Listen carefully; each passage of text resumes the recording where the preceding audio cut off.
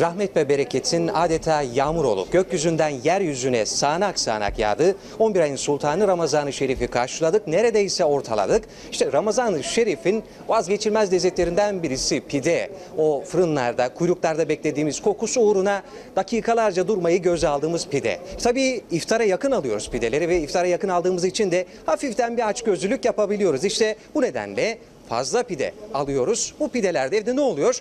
Bayatlıyor sevgili seyirciler. Bayatlayınca da çöpe doğru adım adım gidiyor. İsraf dinimizce haram. Yiyiniz içiniz fakat israf etmeyiniz buyuruyor Hazreti Allah Kur'an-ı Kerim'de. İşte bu bayatlayan pideleri israf olmadan nasıl değerlendirebiliriz? İSMEK'te bunun kursu veriliyor. Fehime Usular Hocam bizimle birlikte. Hocam hoş geldiniz yayınımıza. Hoş bulduk. Siz de hoş geldiniz. Teşekkür ederiz. Hocam nasıl değerlendireceğiz bayatlayan pideleri?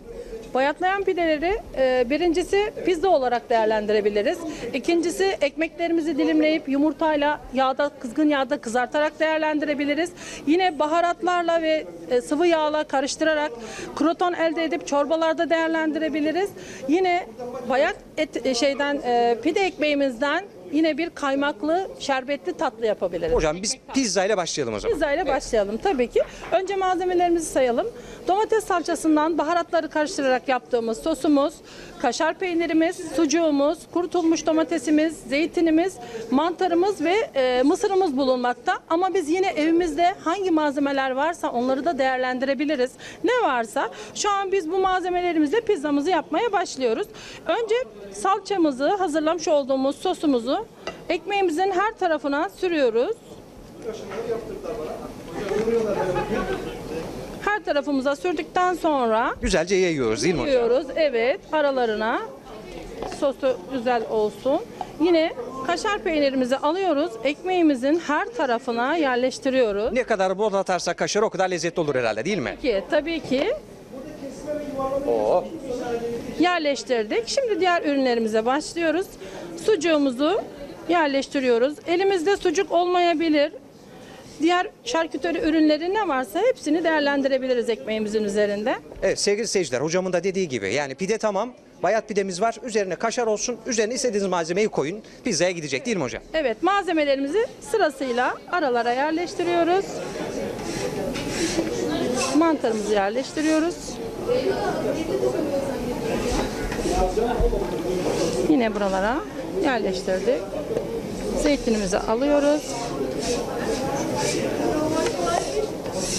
Yine sırasıyla mısırımızı da yerleştirdikten sonra pizzamızı düzeltip 200 derece ısıtılmış fırında 10 dakika pişiriyoruz. Evet hocam 10 dakika pişti sevgili seyirciler gördüğünüz gibi mükemmel bir lezzet kokusu benden alıyor beni gerçekten mükemmel bayat bir ekmeği değerlendirdik değil mi hocam? Hemen geçelim yumurtalı ekmeğimiz hocam pizzamızı yaptık ardından yumurtalı ekmek bizi bekliyor yumurtalı ekmek için pide ana maddemiz bayat bir pide ardından neler kullanacağız hemen Fehim hocamdan dinleyelim. Ardından şeker ve sudan hazırlamış olduğumuz şerbetimiz var. 2 adet kupatlarla kestiğimiz bayat pide ekmeğimiz var. Yine kaymağımız var ve süsleme için dekor fıstık, fındık olur, ceviz olur. Önce tatlıyı mı yapıyoruz hocam? Evet tatlımızı yapıyoruz şu an. Şimdi önce tatlımızı ekmeklerimizi şerbete batırıyoruz. 5 dakika şerbet içerisinde kalmasını sağlayacağız. Şerbetli ekmeklerimizi bekletiyoruz. Arkasını önünü çevirerek şerbeti içiyor. Şerbeti içtikten sonra sunum tabağımıza alıyoruz. Heh. Kaymağımızı alıyoruz. Arasına kaymak olur, patiseri olur, her şeyi sürebiliriz yine. Yine alıyoruz ekmeğimizi. Üst katına koyup kaymağımızı koyuyoruz. Bu şekilde. En son elimizde olan fıstık, fındık dekor yapıp tatlımızı tamamlıyoruz. Evet sevgili seyirciler gördüğünüz gibi bunu ikram etseniz misafire kim der bu bayat pideden yapıldı diye gerçekten mükemmel bir görsel şölen mükemmel bir koku tabii ki de eminim ki mükemmel bir lezzet değil mi hocam? Tabii ki afiyet olsun. Teşekkürler. Hemen o zaman şu yumurtalı ekmeğimizi de yapalım sonra veda edelim seyircilerimize. Evet, dilimlenmiş ekmeklerimizi alalım hemen buradan. Evet. Bayat pidelerimiz hazır. Hazır. Yine yumurtamız hazır. Ekmeklerimizi dilimledik. Yumurtamızı birazcık sütle karıştırarak çırpıyoruz, hazırlıyoruz. Ekmeklerimizi yumurtalı karışıma batırarak Karıştıralım hocam bir tanesini gösterelim seyircilerimize. kızartıyoruz. Şu şekilde batıyoruz. Bu şekilde suyunu süzüyoruz. Kızgın yağda kızartıyoruz. Kaç dakika hocam?